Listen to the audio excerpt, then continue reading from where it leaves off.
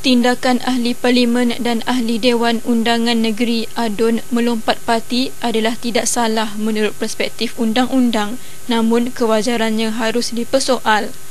Pakar perlembagaan Profesor Dr. Abdul Aziz Bari berpendapat tindakan itu perlu dibincangkan dari sudut moral. Dalam peringkat persekutuan ya, 43 kurungan 4 itu soal bahawa kalau Perdana Menteri itu sudah hilang sokongan maka dia hendaklah mana diwajibkan meletakkan jawatan kecuali yang di Pertuan Agong berkenan atau bersetuju untuk membubarkan dewan dengan permintaan beliau. Jadi apa makna di sini? Saya melihat bahawa ini dengan kata lain sudah menunjukkan bahawa melompat ataupun meninggalkan sesuatu parti atau sesuatu kelompok itu satu benda yang dibenarkan oleh perlembagaan inherently uh, exists in the system. Boleh tak boleh soal lain. Wajar tak wajar itu boleh boleh boleh boleh bincang.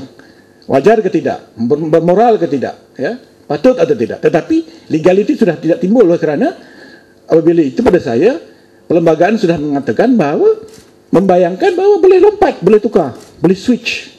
Bercakap dalam satu forum anjuran jemaah Islah Malaysia JIM di Hotel di Palma Ampang Sabtu lalu, Beliau turut mempersoal kewajaran pemerintah mahu mewujudkan undang-undang anti lompat parti yang bertentangan dengan prinsip perlembagaan.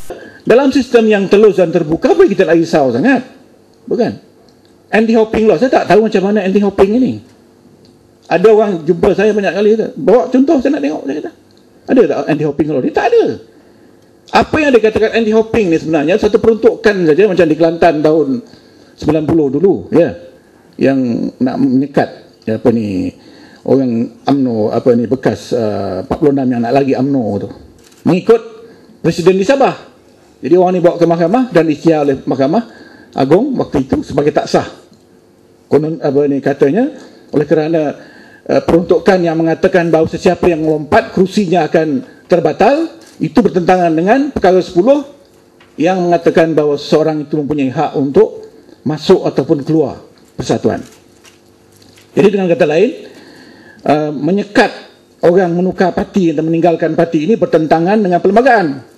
Turut mengisi pentas forum bertajuk Wajar atau Tidak Wakil Rakyat Lompat Parti itu, Ahli Parlimen Kuantan Fuziah Saleh dan Presiden JIM Zaid Ibrahim, manakala Timbalan Presiden JIM Said Ibrahim Said Noh selaku moderator.